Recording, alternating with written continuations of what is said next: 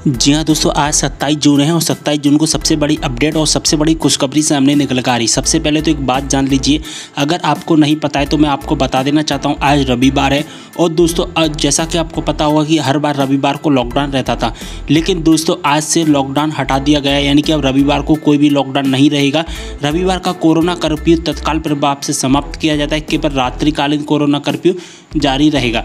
ऐसा क्यों किया गया है? क्योंकि मध्य प्रदेश में आज पैंतीस ऐसे ज़िले हैं मध्य प्रदेश के पैंतीस ऐसे ज़िले हैं जहाँ पर कोरोना का कोई भी केस नहीं आया है। साथ ही हमारे मध्य प्रदेश में एक्टिव केसों की संख्या एक हज़ार से घटकर नीचे आ चुकी है। तो इसलिए क्या है, मध्य प्रदेश में रविवार का लॉकडाउन हटा दिया गया है। अब दोस्तों, हमारा मध्य प्रदेश रविवार को भी जो अन्य सब, अन्य दिनों में खुलता है, सोमवार, मंगलवार, बुधवार जैसे खुलता है, ठीक उसी प्रकार से रविवार को भी अब खुला करेगा।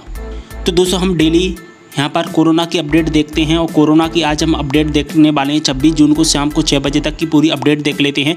तो दोस्तों, किस ज़िले में कितने केस आए हैं? आज कितने केस आए हैं? कितने एक्टिव केस रह गए हैं? पूरी इन्फॉर्मेशन को देखेंगे तो यहाँ पर आप देख पा रहे हैं, केवल इंदौर और भोपाल में ही सबसे ज़्यादा केस ही हमको देखने को मिल रहे हैं। इंदौर में नौ और भोपाल में ग्यारह है और यहाँ पर भी सबसे ज़्यादा एक्टिव केस हैं, एक सौ साठ और दो सौ सत्ताईस।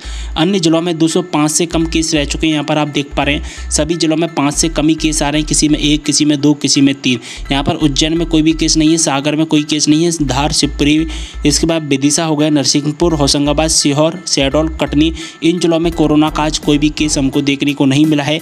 इसके बाद में अगर हम बात करें हम बात करें अनूपपुर की, हम बात करें दोस्तों सीधी की, बालाघाट की, अगर मंदसौर की, मुरैना हो गया, दमोह, नीमच देवास झाबुआ, छतरपुर, पन्ना, टीकमगढ़, सिवनी। तो इन जिलों में कोरोना का कोई भी केस नहीं है, यानी कि आज मध्य प्रदेश के पैंतीस ऐसे ज़िले हैं जहाँ पर कोरोना का कोई भी केस हमको नहीं देखने को मिला है।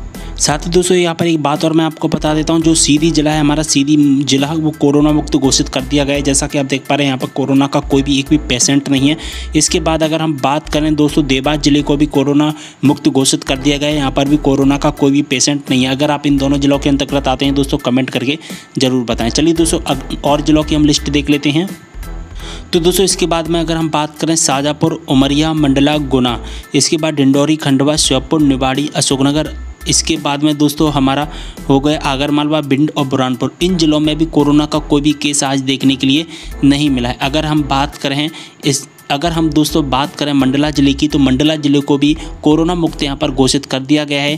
अगर दोस्तों हम बात करें खंडवा ज़िले की तो दोस्तों खंडवा ज़िले को भी कोरोना मुक्त घोषित कर दिया गया है।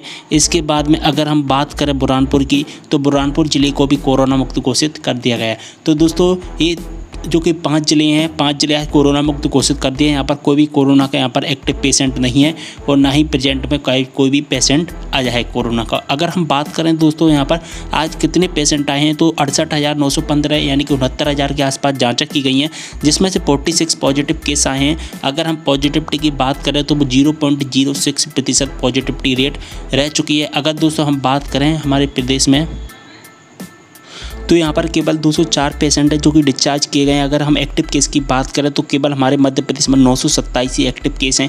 यानी कि मध्य प्रदेश में एक हज़ार से भी कम यहाँ पर एक्टिव केस रह चुके हैं। तो दोस्तों, मध्य प्रदेश के पैंतीस ऐसे ज़िले हैं यहाँ कोरोना का कोई भी केस नहीं है और इसी वजह से दोस्तों रविवार का लॉकडाउन यहाँ पर हमेशा के लिए समाप्त कर दिया गया तो पूरी इन्फॉर्मेशन समझ में आ गई वीडियो को शेयर कर देना। आज की वीडियो बहुत ज़्यादा इन्फॉर्मेटिव है और हर जो कि मध्य प्रदेश के नागरिकों को ये वीडियो देखना चाहिए, क्योंकि आज की वीडियो में बहुत अच्छी जानकारियाँ दी गई हैं। तो दूसरी वीडियो को शेयर कर देना। मिलते हैं इस वीडियो के साथ। तब तक लिए बाय